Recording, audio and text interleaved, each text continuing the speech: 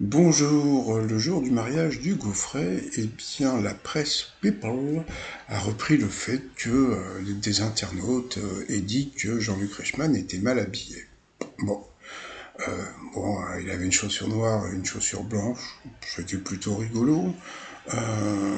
bon, il, il avait un pantalon noir et une veste noire, le vrai problème, c'était la chemise. Bon, mais est-ce que c'est vraiment la chemise le problème?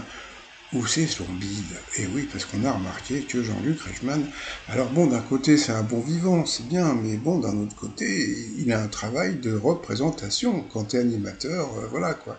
Et donc, en, ce moment, donc euh, hier encore, hein, hier, encore, euh, il était en tournage à la Plaine Saint-Denis pour des émissions qui vont être diffusées au mois de novembre, même peut-être début décembre, puisque à partir euh, bah, de la semaine prochaine, hein, il va commencer son tournage de Léo Mattei.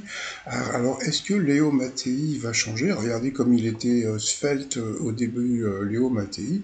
Alors, est-ce que ça va devenir le gros Mattei Brigade des minceurs? Rendez compte, à mineur, vous, vous rajoutez un C, ça fait la Brigade des minceurs.